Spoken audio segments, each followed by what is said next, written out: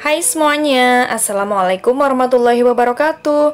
Kembali lagi di channel youtube Riana Res. Di video kali ini saya membuat cake pandan potong Yang gampang banget cara membuatnya, ekonomis Cuma dengan dua telur dan ini lembut dan empuk banget ya.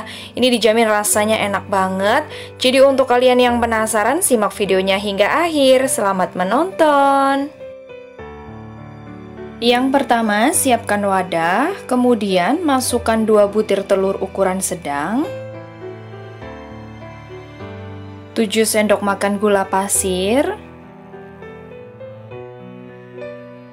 setengah sendok teh SP, kalian juga bisa menggunakan ovalet atau TBM, Kemudian ini kita mixer dengan kecepatan maksimal hingga mengembang putih kental dan berjejak ya. Selama 5-7 menit tergantung dengan mixer masing-masing.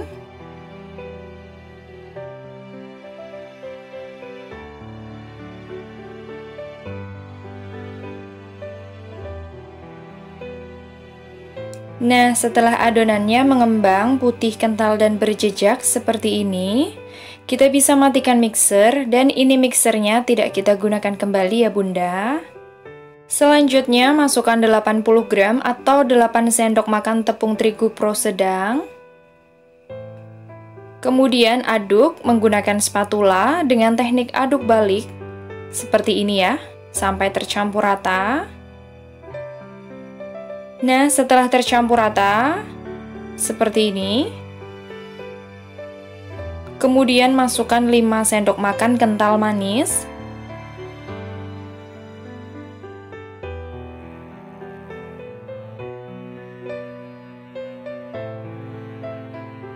Lalu satu saset santan instan ukuran 65 ml. Aduk kembali menggunakan teknik aduk balik sampai tercampur rata. Setelah tercampur rata seperti ini, selanjutnya saya masukkan 2 sendok makan pasta pandan.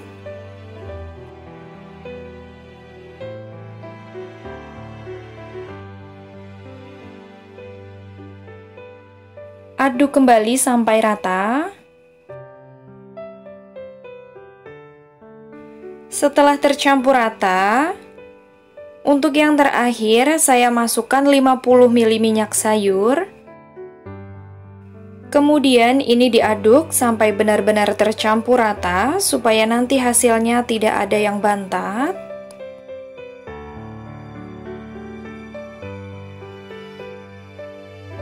Nah, di sini saya sudah menyiapkan loyang ukuran 20 x 20 yang sudah diolesi dengan margarin tipis-tipis di bagian bawahnya saja. Selanjutnya, tuang adonan ke dalam loyang.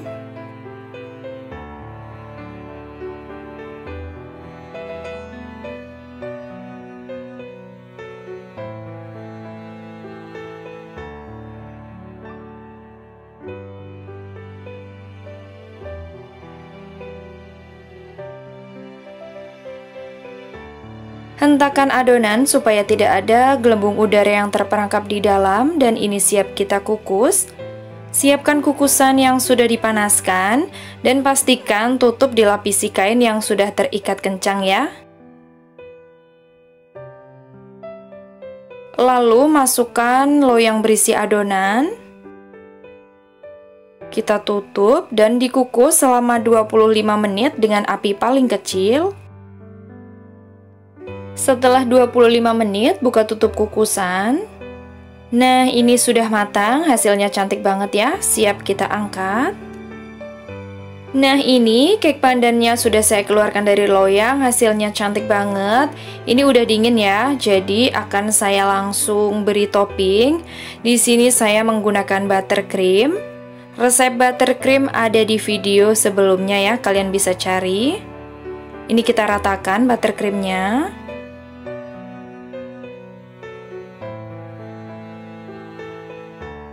Setelah buttercreamnya merata, sekarang akan saya potong menjadi 16 bagian.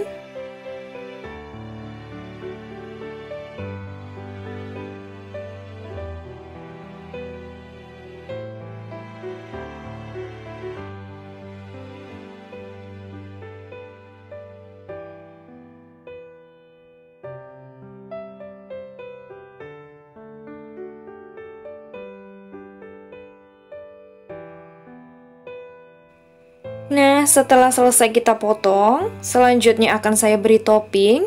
Di pinggirannya sini akan saya beri keju parut.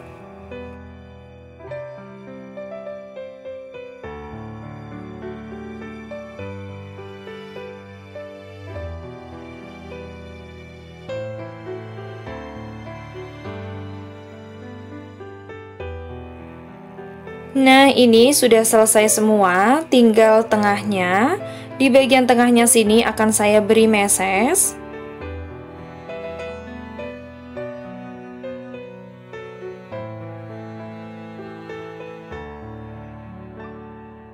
Oke, ini udah selesai semuanya. Dan untuk bagian atasnya lagi saya akan semprot menggunakan buttercream. Seperti ini ya sampai selesai.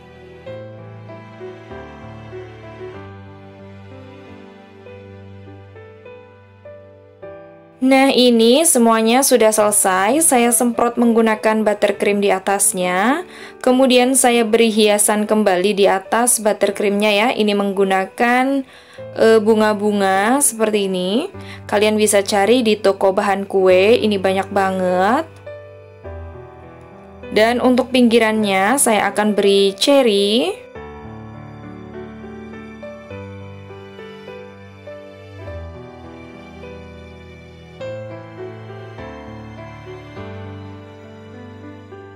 Nah ini dia. Sudah selesai saya hias hasilnya cantik banget ya. Kalian bisa lihat. Wow. Ini bisa jadi untuk ide usaha kalian di rumah ya. Ini ekonomis banget, rasanya enak dan mantap banget ya. Ini recommended banget untuk kalian yang suka kue pandan. Nah, sekarang akan saya cobain. Kita lihat bagian dalamnya ya. Wow, cantik banget ya. Seratnya lembut dan ini super empuk. Recommended banget ya. Ini mantap banget. Sekarang saya akan cobain. Wow, bismillah. Hmm, enak banget. Ini benar-benar enak, rasanya pas, manisnya pas, lembut banget dan empuk banget ya. Ini sama sekali nggak bikin seret, ini recommended banget untuk kalian yang kepengen bikin cake pandan potong di rumah.